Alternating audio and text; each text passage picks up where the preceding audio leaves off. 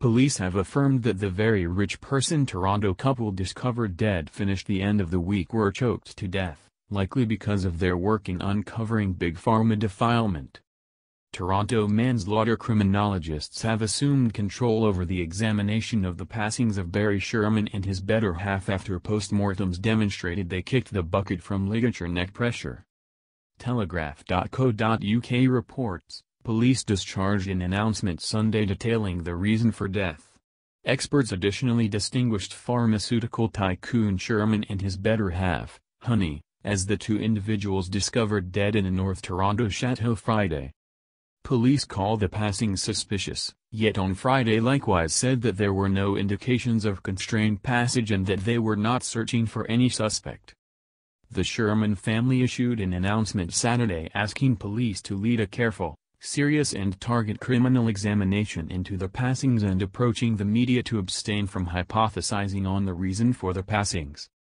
Canadian Business Magazine as of late assessed his value at 4.77 billion Canadian dollars, $3.65 billion, making him the 15th wealthiest individual in the nation. Be that as it may, the Shermans didn't parade their riches. He drove B2 Patos.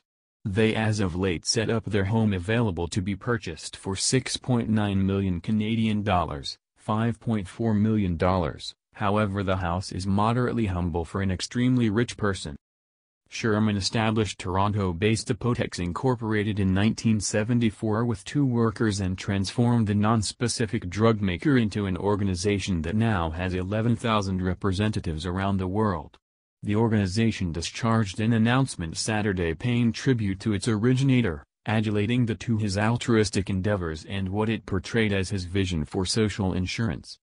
The Shermans were among Canada's most liberal givers, and their passings stunned Canadian high society and the nation's Jewish people group. The couple made various multi-million dollar gifts to doctors' facilities, schools and philanthropies and had structures named in their respect.